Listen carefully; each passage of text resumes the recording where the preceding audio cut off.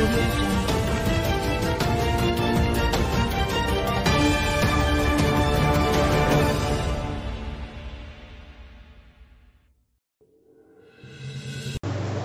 आप देख रहे हैं न्यूज़ नाइन भारत और मैं हूँ आपके साथ अशोक चौहान। देश और दुनिया की तमाम खबरों पर आइए डालते हैं एक नज़र।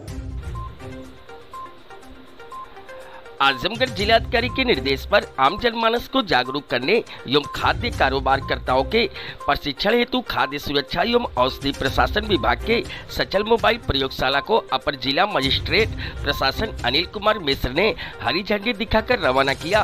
सचल प्रयोगशाला द्वारा नगर पालिका आजमगढ़ के विभिन्न स्थानों, नरौली, बैठौली, कलेक्ट्रेट सिधारी मुबारकपुर नगर पालिका क्षेत्र में व्यापक रूप से दाल, बेसन, जीरा, बर्फ़ी, दूध, खोया, पनीर, गुलाब जामुन सोयाबीन का तेल, सरसों के तेल, हल्दी, नमक, चाय पत्ती, जलेबी के कुल एक नमूनों को जांचा गया, जिसमें प्रथम दृष्टया 11 नमूने जाँच में मानक के अनुरूप नहीं पाए गए। सचल प्रयोगशाला को जनपद में आगामी 30 जुलाई तक प्रत्येक तहसील क्षेत्र में गतिमान रखकर आम जनमानस को जागरूकता एवं खाद कारोबारकर्ता के प्रशिक्षण का कार्यक्रम चलेगा।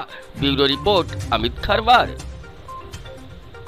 Food safety standard of India की एक बैन आई है, जो मौके पर ही फ़ूड के सैंपल्स की जाँच करेगी, जिससे पता चल जाएगा कि कितना सब स्टैंडर्ड सामान बिक रहा है और कैसा लोग बिक्री कर रहे हैं।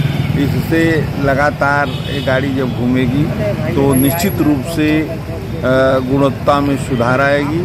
लोग जो है सही खाद्य पदार्थ बेचें। यहाँ खबरों का सिलसिला कभी नहीं थमता। सिर्फ़ और सिर्फ़ बने रहिए न्यूज़ नाइन भारत पर। अब चाहेंगे इजाज़त। नमस्कार।